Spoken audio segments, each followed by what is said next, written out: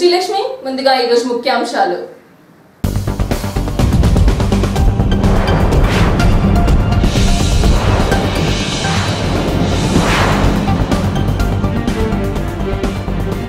కడపలో ఉద్రిక్తం నలభై ఏడవ డివిజన్ కార్పొరేటర్ పై దుండగుల దాడి.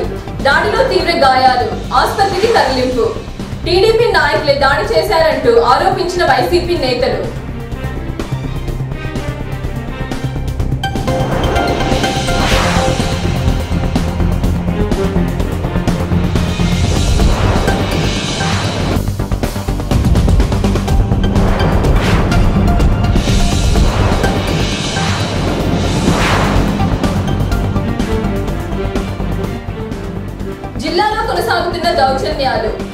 రాజకీయాలు. ఎర్రగుట్లలో వైసీపీ టీడీపీ మధ్య వార్. పదిహేడవ వార్డ్ కౌన్సిలర్ కిడ్నాప్ ప్రయత్నంతో తలెత్తిన వివాదం. ఇరు వర్గాల మధ్య ఘర్షణ.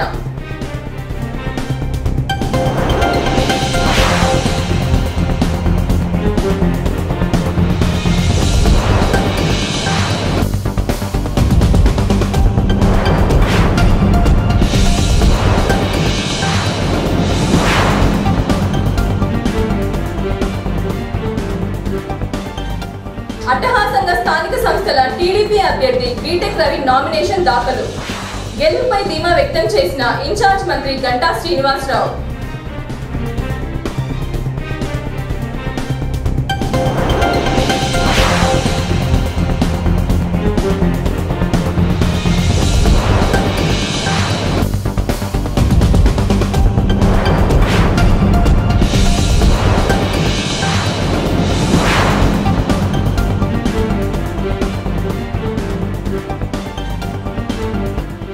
రేపు సమ్మెపాటు పట్టనున్న బ్యాంకర్లు సమ్మెకు పూర్తి మద్దతు తెలుపుతున్నట్లు వెల్లడించిన సిఐటియు నేతలు.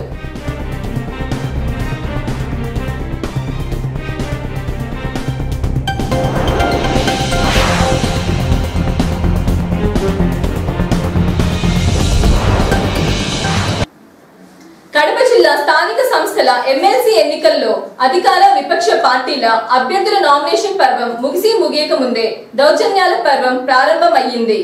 ఎవరికి వారు తమదే గెలుపంటూ ధీమా వ్యక్తం చేస్తున్నప్పటికీ అంతర్గతంగా గెలుపుపై ఇరు పార్టీలకు సందేహాలు ఉన్నాయి. ఈ నేపథ్యంలో క్యాంప్ రాజకీయాలు కూడా కొనసాగుతున్నాయి. ఈ రోజు ఈ రోజు ఎర్రగుంట్ల కడపలో జరిగిన సంఘటనలు ఈ ఎన్నికను ఇరు పార్టీలు ఎంత ప్రతిష్టాత్మకంగా తీసుకున్నాయో తేటతెల్లం చేస్తున్నాయి.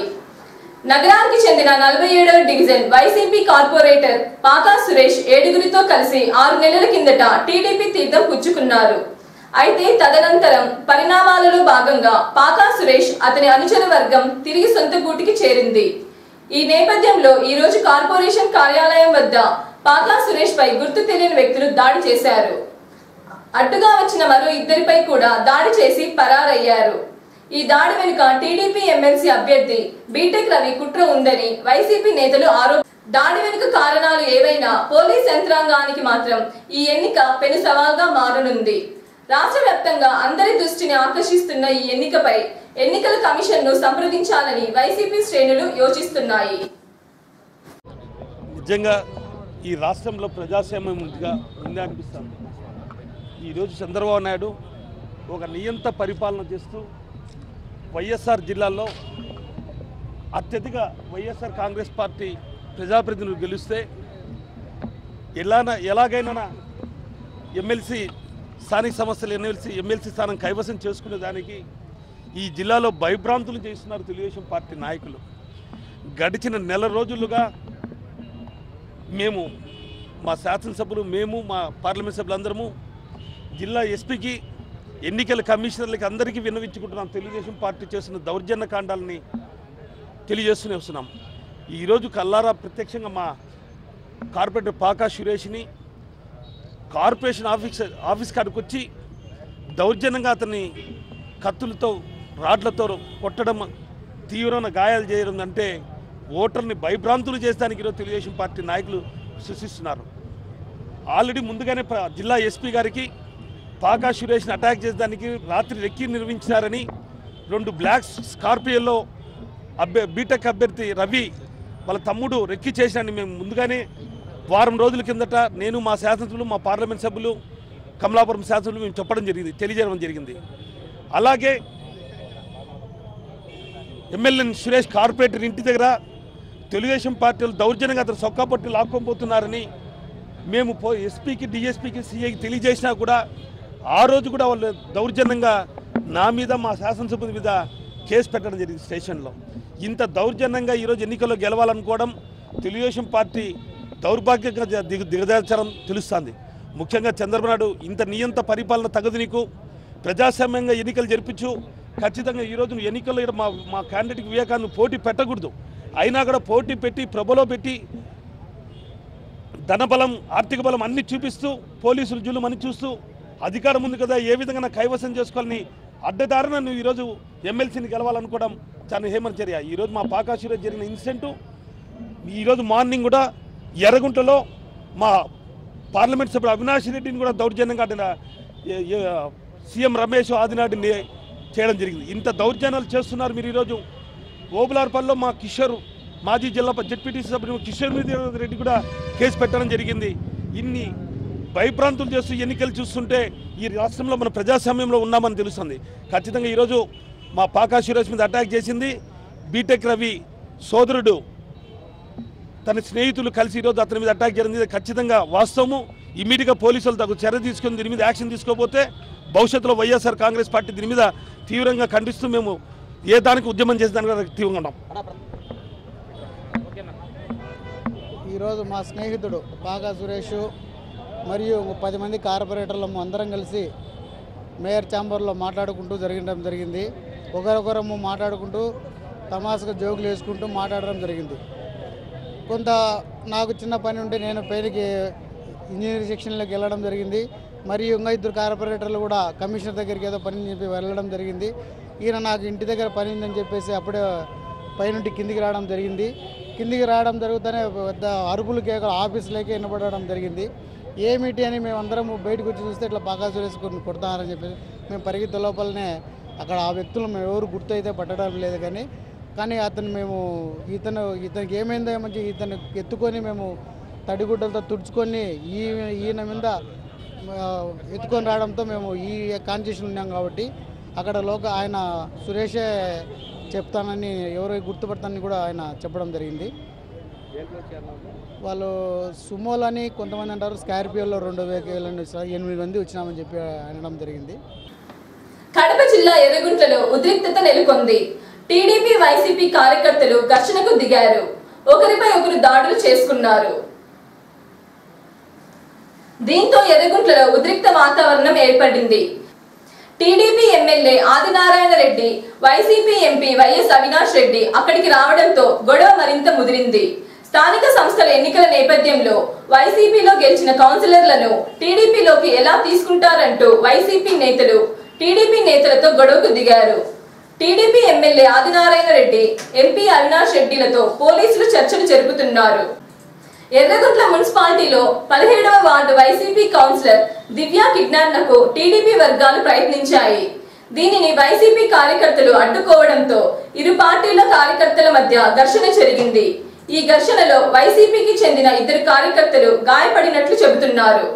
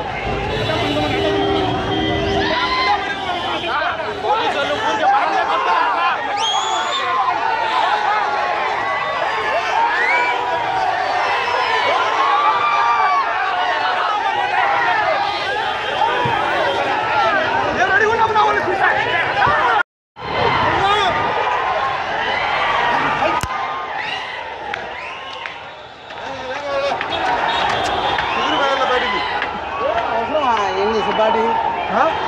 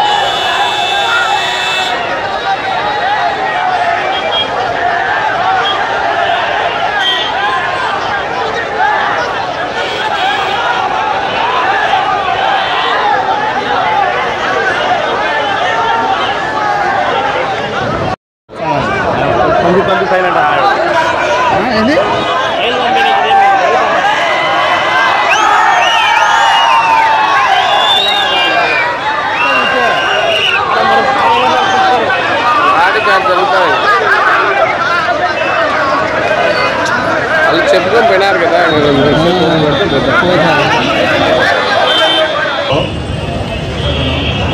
ఈరోజు ఎలగుంట పోలీస్ స్టేషన్లోనే మీడియా సాక్షిగా చూశాం. ఎరకల్గట్టిన అతను ఇంటికాడ దౌర్జన్యం చేస్తే father of father of India father of Divya Divya వచ్చేసి కౌన్సిలర్ ఇక్కడ. వాళ్ళ ఫాదర్ ఎరికల్ రెడ్డి. ఆమె తెలుగుదేశంకు మద్దతుగా ఇస్తుందని చెప్పేసి ఉద్దేశంతో ఇంటి దగ్గరికి పోయి ఎరికల్ రెడ్డిని మనుషులు తీసుకుని రాత్రి గలాట చేస్తే ఎమ్మెల్యే ఆదినారాయణ రెడ్డి గారు ఏంటి ఏంటి గలాట తెలుసుకునేందుకు వచ్చేస్తే ఇక్కడ స్టేషన్ తీసుకొచ్చేస్తే స్టేషన్లో కూడా దౌర్జన్యం చేయాలని చెప్పేసి వైఎస్ఆర్సీపీ వాళ్ళు ప్రయత్నం చేస్తున్నారు. చంద్రబాబు నాయుడు ప్రభుత్వంలో ఎటువంటి లా అండ్ ఆర్డర్కి ఇబ్బంది లేదు. ఎవరైతే స్వేచ్ఛగా తెలుగుదేశం కోటేస్తారో వాళ్ళందరికీ మొత్తం పోలీస్ కానీ లా అండ్ ఆర్డర్ కానీ వాళ్ళకి అండగా ఉంటుంది. మేము కూడా అండగా ఉంటాం. ఎవరి దౌర్జన్యాలకు ఇక్కడ భయపడేది లేదు. కడప జిల్లాలో ఆ దౌర్జన్యాల కాలం పోయింది. అందరికీ స్వేచ్ఛగా ఉండేసుకుని ఇప్పుడు మీడియా అంతా చూస్తున్నారు ఇక్కడ. ఇక్కడ స్టేషన్లకు వచ్చి గలాట్ చేయాలని చెప్పేసి అతను ప్రయత్నం చేయాలంటే ఏ విధంగా అంటాడో ఎవరైతే స్టేషన్కి వచ్చి ఎరకలేటిని గలాట్ చేయారో వాళ్ళందరికీ కంప్లైంట్ ఇచ్చారు. ప్రతి ఒక్కరిని కూడా అరెస్ట్ చేసి వాళ్ళు ఏదైతే చర్యలు తీసుకోవాలనో ఏదైతే సెక్షన్లు పెట్టాలనో అవన్నీ తీసుకొని పోలీసు వారు న్యాయం చేయాలని చెప్పి కోరుతున్నాను నేను ఫోన్లో మాట్లాడితే ఎస్పీ గారికి కాన్ఫరెన్స్ కాల్లో ఆయన బాధ ఆ మేరకు రాత్రి నుంచే భయభ్రాంతులైనారు. కొత్త నుంచి మళ్ళీ భయభ్రాంతులు చేసే దానికోసం కొంత మనసులు ఒత్తిడి పెడితే ఆ ఒత్తిడి వద్దని స్టేషన్కు స్వయంగా కిరికరెడ్డి గారిని కిరికరెడ్డి గారిని పిలిపించుకోవాలని పోలీసులు తీసుకొని తనను మళ్ళీ ఇక్కడ దౌర్జన్యంగా చేయాలని సుధీర్ రెడ్డి గారు డాక్టర్ సుధీర్ రెడ్డి ప్రయత్నం చేస్తే నేను కూడా ఏంది ఈ పరిస్థితి అని పోలీసులకు సవివరంగా చెప్పడానికి వచ్చాము. ఈ పరిస్థితి ఏర్పడింది. ఇలాంటి దౌర్జన్యాలకు కాలం చేయలేదు మీరు రాజకీయాలు మాట్లాడితే మేము గంట మాట్లాడతాం. ఇక్కడ జరిగే సిచ్యువేషన్ కడప జిల్లాలో గతం ఏంటి ఇప్పుడేంది ఆ రాజకీయాలు మాట్లాడితే ఒక డిబేట్ తెలుసుకుంటాం. ఖచ్చితంగా పోలీసులు న్యాయం చేస్తారు దౌర్జన్యాలకు తావుండదు. మేమందరం గట్టిగా ఉన్నాం. ఎంత దూరమైనా వాళ్ళు దౌర్జన్యం చేస్తే మేము కూడా ఆ దౌర్జన్యాలను అటకాయిస్తాం రాష్ట్ర వ్యాప్తంగా అందరి దృష్టిని ఆకర్షిస్తున్న కడప జిల్లా స్థానిక సంస్థల ఎమ్మెల్సీ టీడీపీ అభ్యర్థిగా మారెడ్డి రవీంద్రనాథ్ రెడ్డి అలియాస్ బీటెక్ రవి ఈ రోజు తన నామినేషన్ దాఖలు చేశారు. జిల్లా ఇన్ఛార్జ్ మంత్రి గంటా శ్రీనివాసరావు పార్టీ పరిశీలకుడు జయ నాగేశ్వర్ రెడ్డి ఎమ్మెల్సీలు సతీష్ రెడ్డి చెంగల్ రాయుడు ఎమ్మెల్యేలు జయరాములు మేడా మల్లికార్జున రెడ్డి పార్టీ జిల్లా అధ్యక్షుడు శ్రీనివాస్ రెడ్డితో పాటు అన్ని నియోజకవర్గాల ఇన్ఛార్జీలు పార్టీ నేతలు కార్యకర్తలు పెద్ద ఎత్తున హాజరయ్యారు. ఎన్నికల రిటర్నింగ్ అధికారి జాయింట్ కలెక్టర్ శ్వేతకు బీటెక్ రవి తన నామినేషన్ పత్రాలను సమర్పించారు. అనంతరం మీడియాతో మాట్లాడిన మంత్రి అభ్యర్థి బీటెక్ రవి ఈ ఎన్నికల్లో గెలుపు తమదేనంటూ ధీమా వ్యక్తం చేశారు. స్థానిక సంస్థల ఎమ్మెల్సీ ఎన్నికలు పలు జిల్లాల్లో జరుగుతుంటే వైసీపీ కేవలం కడప జిల్లాలోనే పోటీ చేస్తోందని ఇక్కడ కూడా ఆ పార్టీ ఓటమి తథ్యమని మంత్రి గంటా జోష్యం చెప్పారు. ఈ ఎన్నికల్లో గెలుపుకు అవసరమైన మ్యాజిక్ ఫిగర్ కంటే తమకు ఇంకా ఎక్కువ బలమే ఉందని క్రాస్ ఓటింగ్ జరుగుతుందన్నది అపోహ మాత్రమేనని మంత్రి స్పష్టం చేశారు. ఈ ఎన్నికల్లో బీటెక్ రవి గెలుపు నల్లేరుపై నడకేనని రవి గెలుపుతో వైసీపీ పతనం కడప జిల్లా నుంచి ప్రారంభం అవుతుందని ధీమా వ్యక్తం చేశారు. పార్టీ అభ్యర్థి బీటెక్ రవి మాట్లాడుతూ ఈ ఎన్నికల్లో తాను గెలిచి ఎమ్మెల్సీ స్థానాన్ని సీఎం చంద్రబాబుకు కానుకగా ఇస్తానని ప్రకటించారు. విలువల గురించి మాట్లాడుతున్న వైసీపీ అభ్యర్థి వైఎస్ వివేకానంద రెడ్డి తన సొంత వదినపై ఎందుకు పోటీ చేశారని ప్రశ్నించారు. ఆనాడు సోనియా గాంధీ ప్రలోభాలకు లొంగి పోటీ చేశారేమో చెప్పాలని నిలదీశారు. ఈ ఎన్నిక చంద్రబాబు అభివృద్ధికి జగన్ అవినీతికి మధ్య జరుగుతోందని త్వరలో జైలుకు వెళ్ళే జగన్ వెంట ఉండటం తమ భవిష్యత్తుకు మంచిది కాదని ఎంపీటీసీలు జెడ్పీటీసీలు స్వచ్ఛందంగా తమ పార్టీలోకి వస్తున్నారని వెల్లడించారు. స్థానిక సంస్థల ఎమ్మెల్సీ అభ్యర్థిగా ప్రీతం ముఖ్యమంత్రి చంద్రబాబు నాయుడు గారి ఆశీస్సులతో తెలుగుదేశం పార్టీ అభ్యర్థిగా ఈరోజు సోదరులు బీటెక్ రవి పదకొండు గంటల ఇరవై ఒక్క నిమిషాలకు నామినేషన్ వేయడం జరిగింది. గత కొద్ది రోజులుగా కూడా జిల్లాలో మారుతున్న సమీకరణలు అన్నీ చూసిన తర్వాత ఈ ఎన్నికలో రవి గెలుపు సుస్పష్టం. ఇప్పటికే ఆదినారాయణ రెడ్డి గారు కావచ్చు జయరాములు కావచ్చు అలాగే చెంగల్రాయుడు ఎమ్మెల్సీ కావచ్చు ఇతర నాయకులు కూడా పెద్ద ఎత్తున వైసీపీ పార్టీ నుంచి తెలుగుదేశం పార్టీలో చేరటం. ఎమ్మెల్యేలు ఎమ్మెల్సీలే కాకుండా ఈరోజు జడ్పీటీసీలు ఎంపీపీలు స్థానిక సంస్థల్లో ఎవరికైతే ఓట్లు ఉన్నాయో వాళ్ళు కూడా పెద్ద ఎత్తున తెలుగుదేశం పార్టీలో చేరడం జరిగింది. ఈరోజు ఏదైతే జిల్లా మొత్తం మీద ఎయిట్ హండ్రెడ్ ఫార్టీ ఓటర్స్ కింద మొత్తం ఎన్రోల్ అయింది. అంటే ఇందులో గెలవాలంటే magic figure four hundred twenty one ఓట్లు రావాల్సిన అవసరం ఉంది. ఈ రోజు వరకు తెలుగుదేశం పార్టీకి స్పష్టంగా ఆధిక్యత ఉంది. ఈ ఎన్నిక అనేది నల్లేరు మీద బండలాగా మేము భావిస్తూ ఉన్నాం. ఏదైతే రవి దాదాపు ఒక వంద ఓట్లు పైగా మెజార్టీతో స్థానిక సంస్థలో గెలబడతా ఉన్నారు. మొత్తం పదమూడు జిల్లాల్లో ఎన్నికలు జరుగుతూ ఉంటే వైఎస్ఆర్సీపీ పార్టీ పన్నెండు జిల్లాల్లో చేతులెత్తేసింది ఆల్రెడీ ఒకే ఒక కడప జిల్లా మాకు చాలా స్ట్రాంగ్ అనుకున్న కడప జిల్లాలో కూడా ఈ ఎన్నికల్లో తెలుగుదేశం పార్టీ రవి భారీ మెజార్టీతో గెలవబోతా ఉన్నారు. ఒక్క ఓటు కూడా తెలుగుదేశం పార్టీ నుంచి పక్కెళ్ళకుండా అవతల వాళ్ళు ఏదో కొన్ని ఆశలు పెట్టుకుని ఉన్నారు. ఏదో మా క్రాస్ ఓటింగ్ అవుద్దని. క్రాస్ ఓటింగ్ ఎట్టి పరిస్థితుల్లో కూడా తెలుగుదేశం పార్టీ నుంచి వైఎస్ఆర్ కాదు అయితే గీతే వైఎస్ఆర్ నుంచే తెలుగుదేశం పార్టీ క్రాస్ ఓటింగ్ తప్ప తెలుగుదేశం పార్టీ దగ్గర ఉన్న ఏ ఒక్క ఓటు కూడా వైఎస్ఆర్ కలదు. ఇప్పుడున్న మెజార్టీ ఖచ్చితంగా నిలబెట్టుకుంటాం. హండ్రెడ్ పర్సెంట్ రవి గెలుస్తారని చెప్పని భావిస్తూ ఉన్నాం. మేము ఈ ఎన్నిక ఈ ఎన్నిక గెలవడం అనేది నల్లేరు మీద నడకలాంటిదే మొట్టమొదటిసారి కడప జిల్లాలో వైఎస్ఆర్ వాళ్ళకు ఓటమి భయం అనేది ఎన్నికలకు ముందే స్టార్ట్ అయింది. ఎందుకంటే ఇది లిమిటెడ్ ఓట్ల ఎలక్షను ఇందులో టోటల్ ఓట్స్ వచ్చేసి ఎనిమిది వందల నలభై ఉన్నాయి. మా శిబిరంలో ఇప్పటికే దాదాపుగా మ్యాజిక్ ఫిగర్ కన్నా మేము చాలా ఎక్కువగా ఉన్నాము.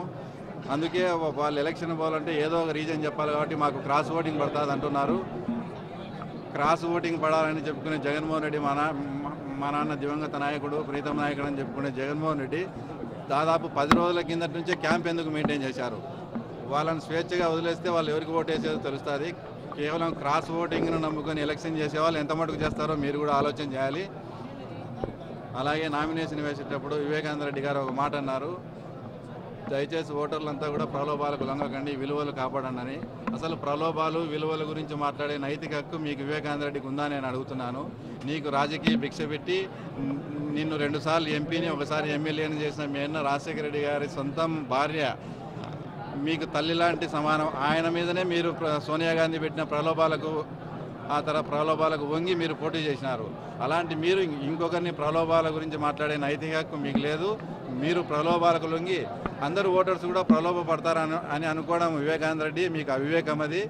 ఎలాగైనా కూడా ఈ ఎన్నికల్లో మేము తప్పకుండా జిల్లా అందరి సహకారంతో కూడా రేపు దేశవ్యాప్తంగా బ్యాంకర్లు చేస్తున్న సమ్మెకు సిఐటియు పూర్తి మద్దతు తెలిపింది. ప్రత్యక్షంగా పరోక్షంగా సమ్మెలో పాల్గొంటున్నట్లు ఆ పార్టీ నాయకులు స్పష్టం చేశారు. ఈ మేరకు వారు స్థానిక సిఐటియు కార్యాలయంలో మీడియా సమావేశాన్ని ఏర్పాటు చేశారు. అనంతరం సిఐటియు నాయకులు మాట్లాడుతూ పెద్ద నోట్ల రద్దుతో నల్లధనాన్ని వెలికి తీస్తామన్న కేంద్రం నల్లధనాన్ని వెలికి తీయకపోగా బ్యాంకర్లపై ఆరోపణలు మిగిల్చారని ఆరోపించారు. అందుకోసమే దేశవ్యాప్తంగా బ్యాంకర్లు సమ్మెకు దిగారని ఈ సమ్మెకు తాము పూర్తి మద్దతు తెలుపుతామని స్పష్టం చేశారు. రేపు దేశవ్యాప్తంగా బ్యాంకింగ్ ఉద్యోగులు సమ్మె చేయబోతా ఉన్నారు. ఈ సమ్మెకు సిఐటి జిల్లా కమిటీ సంపూర్ణ మద్దతు తెలియజేస్తూ ఉన్నాం. ముఖ్యంగా ఇటీవల రాష్ట్రంలో కానీ కేంద్రంలో కానీ జరిగిన పరిణామాలు మనం గమనించినట్లయితే మీడియా ద్వారా కానీ మనం ప్రత్యక్షంగా గమనించినట్లయితే ముఖ్యంగా ఇటీవల పెద్ద నోట్లకు సంబంధించి అవినీతిని మేము ఖచ్చితంగా పూర్తి చేస్తామని చెప్పి నోట్లను మార్చినటువంటి పరిస్థితి. దాని అవినీతి మార్చడం కన్నా ఈరోజు బ్యాంకింగ్ ఉద్యోగుల మీద అనేక రకాల ప్రభావం పడి ఇబ్బంది పడినటువంటి పరిస్థితి ముఖ్యంగా చూస్తూ ఉన్నాం. ముఖ్యంగా రెండోది ఈరోజు విజయవాళ్ళు అంటే వాళ్ళు. కోట్లాది రూపాయలు ఈరోజు ఎగ్గొట్టి ఎగనామం పెట్టినటువంటి పరిస్థితి. కాబట్టి వాటిని తీసుకురావడంలోనూ వాటిని కట్టించడంలోనూ ఈ కేంద్ర ప్రభుత్వం విఫలమైందని చెప్పి సందర్భంగా ముఖ్యంగా చెప్పదలుచుకున్నాం. అంతేకాకుండా బ్యాంకి బ్యాంకి ఉద్యోగులు ప్రధానంగా ఓ డిమాండ్ పెట్టారు. బ్యాంకీలో కూడా ఇటీవల ఆ కాంట్రాక్ట్ పద్ధతిలోను కాంట్రాక్ట్ సిస్టంలోని ఈరోజు ఉద్యోగాలు తీసుకురావడానికి ప్రయత్నం చేస్తూ ఉన్నారు. ఇది సరైంది కాదు. శాశ్వతమైనటువంటి ఉద్యోగాలు కావాలని చెప్పి రేపు సమ్మె చేయబోతా ఉన్నారు. ఈ సమ్మెకు ముఖ్యంగా సిఐటిగా మద్దతు తెలియజేస్తా ఉన్నాం. ఒకవైపు మేము కార్మిక వర్గానికి ఏం అన్యాయం జరిగినప్పుడు స్పందించడానికి ప్రభుత్వంతో కొట్లాడడానికి ముందుంటామని చెప్పిన బిఎంఎస్ ఈరోజు సమ్మెలో లేకుండా ఉన్నది. ఇది చాలా దారుణమైన పరిస్థితి. ఈరోజు బ్యాంకు ఉద్యోగులందరూ కూడా సమ్మె చేస్తున్నది. ప్రధానంగా మనం గమనించాల్సిన అవసరం ఉన్నది. ఈరోజు ఏదైతే స్టేట్ బ్యాంకు సంబంధించి అనుబంధ బ్యాంకులు అయితే ఆరు ఉన్నాయో ఆరు కలిపి ఒకే బ్యాంక్ తయారు చేయాలని ఈరోజు కేంద్ర ప్రభుత్వం ఉత్తర్వులు కూడా జారీ చేసింది. దాన్ని పూర్తిగా వ్యతిరేకిస్తున్నారు. అన్ని కలిపి ఒక పెద్ద ఎత్తున బ్యాంకు తీసుకురావడం వల్ల ఈరోజు సామాన్య ప్రజలు మధ్యతరగతి కుటుంబాలకు సంబంధించి లోన్లు ఇవన్నీ రావడంలో కూడా చాలా ఇబ్బందికరంగా ఉంటుంది. బ్యాంకులు పెట్టిన ఉద్దేశం ఆ రోజు దే దేశ ప్రధానిగా ఉన్న ఇందిరాగాంధీ బ్యాంకులని కూడా జాతీయ చేయడం గ్రామీణ ప్రాంతాలలో కానీ సేవలు అందించడం కోసం గ్రామీణ ప్రాంతాల్లో ఉండే ప్రజలకు మధ్యతరగతి కుటుంబాల్లో ఉండే ప్రజలందరికీ కూడా ఉపయోగకరం కోసం బ్యాంకు. ఈరోజు బ్యాంకు ఎస్బీఐ సంబంధించిన విలీనం కావడం వల్ల ఈరోజు బహుళ జాతి వ్యక్తులు బడా పారిశ్రామికలకు మాత్రమే ఉపయోగకరంగా ఉంటాయి తప్ప మరొకటి కాదనేది. ఈ సిఐటిగా రేపు జరగబోయే ఉద్యమ రేపు జరిగే ఆందోళనకు మా సంపూర్ణ మద్దతు ఉంటే మేము కూడా ప్రత్యక్షంగా పరోక్షంగా కూడా పాల్గొంటామని సందర్భంగా తెలియజేస్తున్నాం. కడప తిరుపతి జాతీయ రహదారిపై ఘోర రోడ్డు ప్రమాదం సంభవించింది.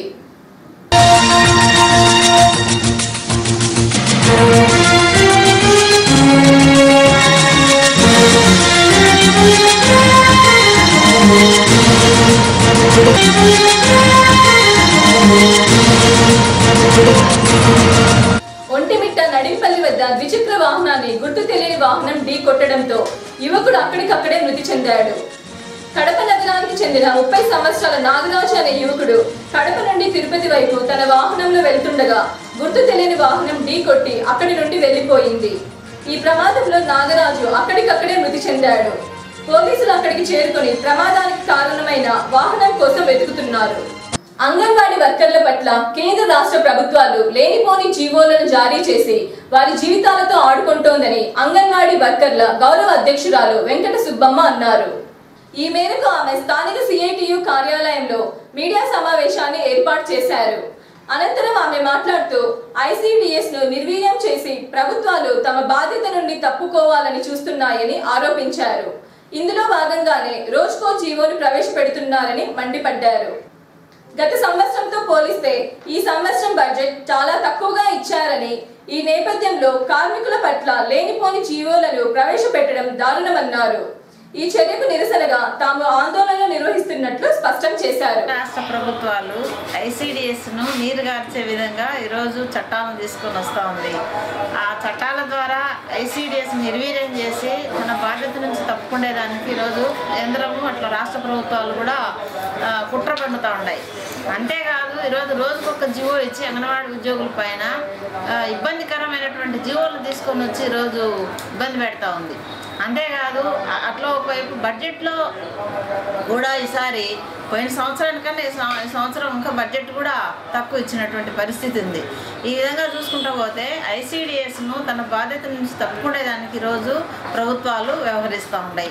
నాలుగు నెలల నుంచి జీతాలు లేవు. అంగన్వాడీ ఉద్యోగులకు నాలుగు నెలల నుంచి జీతాలు లేవు. అట్లా క్రిస్మస్కు లేదు జనవరికి లేదు తర్వాత రంజాన్కు ఉండదు. ఏ పండుగ వచ్చినా కూడా ఈరోజు పస్తులు ఉన్నటువంటి పరి పస్తులు ఉండాల్సినటువంటి పరిస్థితి ఈరోజు అంగన్వాడీ ఉద్యోగుల్లో ఉంది. అంతేకాదు ఈరోజు స్టాఫ్ల విషయంలో కూడా నాణ్యమైన సరుకులు ఇవ్వకుండా నాణ్య సరఫరా కూడా ఈరోజు అంగన్వాడీ ఉద్యోగులపైన వేసేసి నెట్టేసి వాళ్ళని అనేక విధాలుగా ఇబ్బంది చేస్తూ ఉన్నారు. ఇట్లాంటి పరిస్థితుల్లో అంగన్వాడీ ఉద్యోగులందరూ కూడా ఐక్యంగా ఉండి మన సమస్యల పట్ల పోరాటం చేసి సమస్యలను ఎదుర్కొనేదానికి అందరూ ఐక్యంగా ఉండాలి. అందుకని కడప జిల్లాలో ఉన్నటువంటి అంగన్వాడీ ఉద్యోగులందరూ కూడా ఐక్యత దెబ్బతినకుండా మరి మన మనం ఎదుర్కోవాల్సినటువంటి సమస్యల పట్ల ఐక్యంగా పోరాడడానికి సిద్ధంగా ఉండాలి. ఇందులో భాగంగానే కడప జిల్లాలో కూడా కొన్ని విచ్ఛిన్నకర శక్తులు వాళ్ళ స్వప్రయోజనాల కోసం అంగన్వాడీ ఉద్యోగుల పట్లలో విభేదాలు తీసుకొని వచ్చే విధంగా ఈరోజు వ్యవహరిస్తూ ఉన్నారు. అందుకని మేము ఒకటే చెప్పదలుచుకున్నాం. అంగన్వాడీ ఉద్యోగులను ఈ ఇబ్బంది పెట్టాలన్నటువంటి ఎవరు కూడా ఈరోజు మన మనుగడించినటువంటి పరిస్థితి ఉంది. అందుకని మేము చెప్పేది ఏంటంటే సాధ్యమైతే అంగన్వాడీ ఉద్యోగులకు సహకరించాలి కానీ అంగన్వాడీ వాళ్ళను విచ్ఛిన్నం చేసి మనస్పదలు పుట్టి వాళ్ళలో వాళ్ళు విభేదాలు సృష్టించే విధంగా ఈరోజు చేయొద్దని చెప్పేసి మేము హెచ్చరిస్తూ ఉన్నాం అందుకని కడప జిల్లాలో ఉన్నటువంటి ఉద్యోగులు అందరూ కూడా ఐక్యంగా ఉండి మరి ఇట్లా ఈ సమస్యలన్నీ కూడా పరిష్కారం కోసం ఐక్యంగా ఉండి పోరాడాలని చెప్పేసి విజ్ఞప్తి చేస్తున్నాం. ఎస్ఎఫ్ఐ జిల్లా కమిటీలో కొన్ని మార్పుల నేపథ్యంలో నూతన కమిటీని ఎన్నుకున్నారు. ఈ నెల ఇరవై మూడవ తేదీన జరిగిన మహాసభలలో వీరి పేర్లను ఖరారు చేసినట్లు జిల్లా నాయకత్వం తెలిపింది. స్థానిక ఎస్ఎఫ్ఐ జిల్లా పార్టీ కార్యాలయంలో మీడియా సమావేశాన్ని ఏర్పాటు చేశారు. అనంతరం వారు మాట్లాడుతూ కొన్ని అనివార్య కారణాల వల్ల పార్టీలో మార్పులు చేయడం జరిగిందని తెలిపారు. జిల్లా కార్యదర్శిగా నరసింహను జిల్లా అధ్యక్షుడిగా సుబ్బారెడ్డిని నియమించామని అంతేకాకుండా జిల్లా కమిటీలో మొత్తం ఇరవై మూడు మందిని ఎన్నుకున్నామని స్పష్టం చేశారు. కేంద్ర రాష్ట్ర ప్రభుత్వాలు విద్యార్థుల పట్ల కేంద్ర రాష్ట్ర ప్రభుత్వాలు విద్యార్థుల పట్ల నూతన విధానాలపై పోరాటాలు నిర్వహిస్తున్నామని తెలిపారు. హాస్టల్ ఫీజులు ఫీజు రియంబర్స్మెంట్ స్కాలర్షిప్ సమస్యలపై పోరాటాలు నిర్వహిస్తున్నట్లు వెల్లడించారు. ఇరవై మూడవ తేదీన జిల్లా విస్తృత స్థాయి సమావేశం నిర్వహించడం జరిగింది. ఈ సమావేశంలో మొత్తం ఇరవై మూడు మందితో జిల్లా కమిటీ ఎన్నుకోవడం జరిగింది. అందులో తొమ్మిది మంది ఆఫీస్ బేరర్స్ ఎన్నుకోవడం జరిగింది. ఎందుకంటే కొన్ని అనివార్య కారణాల వల్ల కొన్ని మార్పులు చేర్పులు చేయడం జరిగింది. కాబట్టి ఎస్ఎఫ్ఐ జిల్లా కార్యదర్శిగా నరసింహను ఎస్ఎఫ్ఐ జిల్లా అధ్యక్షుడిగాను సంగటి సుబ్బారెడ్డి గారిని ఎన్నుకోవడం జరిగింది. అలాగే ఈ రెండు ఇద్దరం కూడా కలిసి జిల్లా మొత్తం మీద విద్యార్థులు ఎదుర్కొన్నటువంటి సమస్యలపైన అలాగే కేంద్ర కేంద్ర రాష్ట్ర ప్రభుత్వాలు వ్యతిరేక వ్యవహరిస్తున్నటువంటి నూతన జాతీయ విద్యా విధానాలను వాటన్నింటిపైన అలాగే హాస్టల్ సమస్యలపైన అలాగే విద్యార్థులకు రావాల్సిన స్కాలర్షిప్స్ ఫీజు రియంబర్స్మెంట్ ప్రైవేట్ యూనివర్సిటీలపైన వీటన్నింటిపైన కూడా రాబో రోజుల్లో పెద్ద ఎత్తున ఉద్యమం చేయడానికి ఈ నూతన కమిటీ ఆ విధంగా పనిచేస్తుంది. అలాగే ఈరోజు రాష్ట్ర ప్రభుత్వం ఉన్నటువంటి హాస్టల్స్ కూడా క్లోజ్ చేయడానికి రాష్ట్ర ప్రభుత్వం వ్యవహరిస్తున్నటువంటి తీరును ఖచ్చితంగా రేపు రాబో రోజుల్లో ఎండగడడానికి ప్రభుత్వానికి రాబో తగిన బుద్ధి చెప్పడానికి కూడా ఈ ఎస్ఎఫ్ఐ నూతన కమిటీ ఆ విధంగా పనిచేస్తామని చెప్పి ఎస్ఎఫ్ఐగా ఎస్ఎఫ్ఐగా జిల్లా కమిటీగా మేము విజ్ఞప్తి చేస్తున్నాం. వార్తలు ముగించే ముందు ముఖ్యాంశాలు మరొకసారి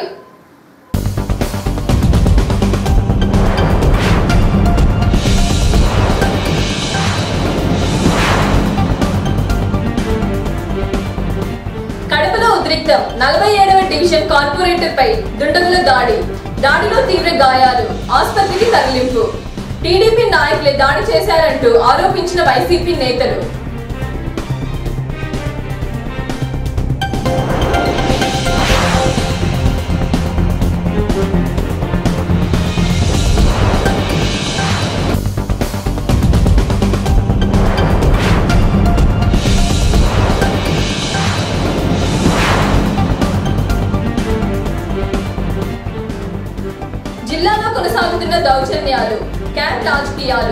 ఎర్రగుంటలో వైసీపీ టీడీపీ మధ్య వార్. పదిహేడవ వార్డ్ కౌన్సిలర్ కిడ్నాప్ ప్రయత్నంతో తలెత్తిన వివాదం. ఇరు వర్గాల మధ్య ఘర్షణ.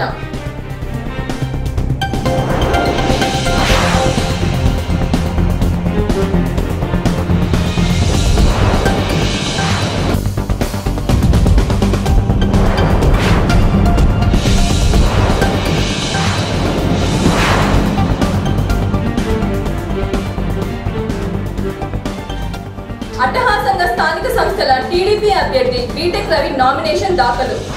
గెలుపుపై ధీమా వ్యక్తం చేసిన ఇన్ఛార్జ్ మంత్రి గంటా శ్రీనివాసరావు.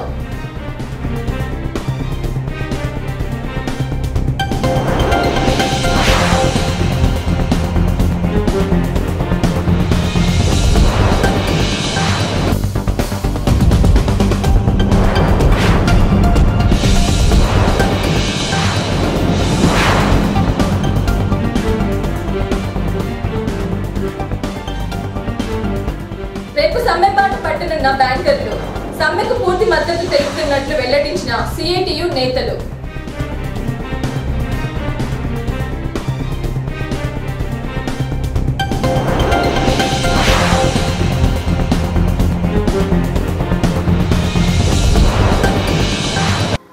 ఇవాళ ఇంతటి సమాప్తం. నమస్కారం.